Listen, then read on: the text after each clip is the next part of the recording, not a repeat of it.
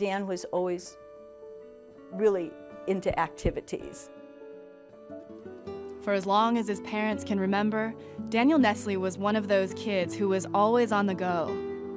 In one summer, okay, he worked at True Value Hardware. He did the 50 mile Boy Scout hike. He was working on his Eagle Scout thing. A kid who loved the outdoors. He did rock climbing, mountain climbing. And for as long as they can remember, Daniel wanted to follow in his father and his grandfather's footsteps and become a soldier. Dan loved the Army. Yes, he did. In 2003, he was sent to Iraq.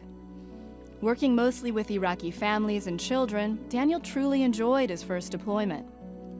But uh, my second deployment was much more Wild West.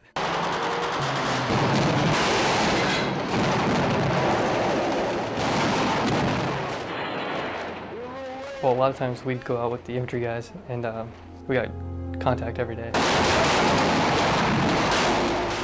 I had uh, about seven concussions in between the two deployments from different explosions and just uh, sorry, various things. I just remember seeing like this wave of red, like fireball coming over my head, and uh, I just remember thinking, where, where am I? Why, why is the sky red? And uh, that was all I really remember. After returning home in 2006, there was something different about Daniel.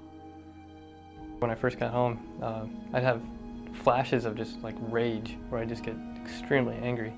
And uh, they noticed I had a huge problem with memory and then um, speaking and then um, just easily distractible. And uh, they knew that I was kind of isolating myself. As time passed on, the list of symptoms lengthened. The memory loss, the speech, not being able to say what he wants to say. Now I stumble through just basic uh, basic uh, communication like right now. Excuse me. Spitting out the words enunciation. I just found out that I actually have the, TBI, so it makes like a daily. I'm sorry, um, like my speech, uh, daily. Uh, looking for. I'm sorry, um, daily life a lot more difficult. Not being able to sleep, moodiness, agitation, frustration, explosive anger, at his parents' urging, Daniel sought help. He was diagnosed with post traumatic stress disorder. But there was something else. Daniel had brain damage, brain damage caused by a traumatic brain injury. Well, traumatic brain injury is where the brain is concussed. Dr. Jay Uomoto is a neuropsychologist and a TBI consultant at the Department of Veteran Affairs. He says the injuries vets are suffering from today result from the type of combat being fought. In uh, this new population in Iraq War veterans and Afghanistan War veterans, uh, we're seeing individuals coming back with a new form of traumatic brain injury, uh, often because of the blast injuries that people are being exposed to.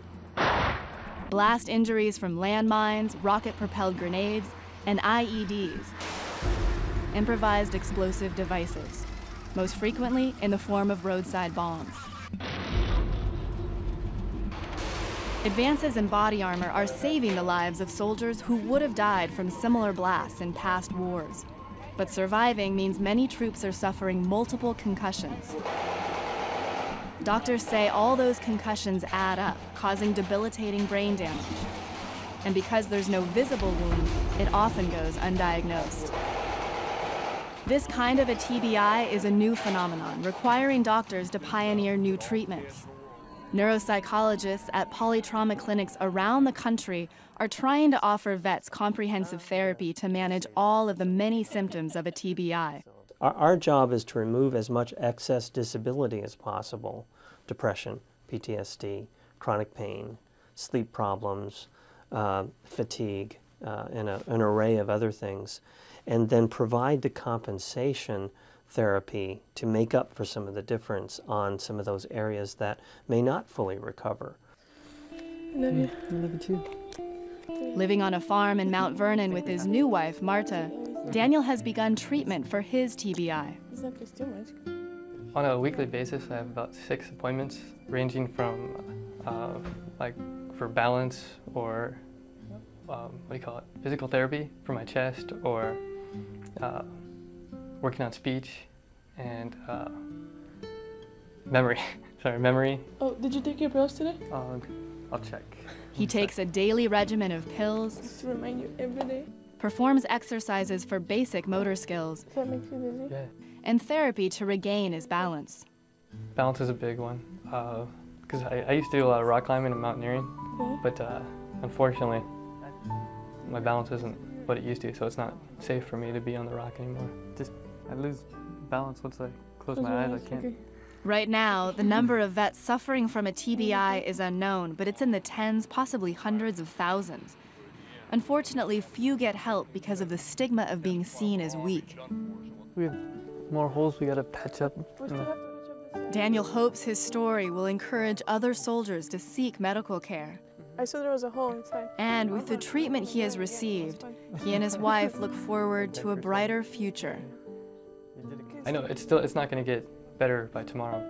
I, at least I'm seeing improvement in myself, and others have commented on the fact that they have seen improvement, like my family and my wife and my friends. I can see why these Vietnam vets were on the streets. And Dan would have been there also if it hadn't been for his family and others. Because he would have just been so lost and confused. I don't care if what they believe today, but they did send them out, and so it's our responsibility to take care of them.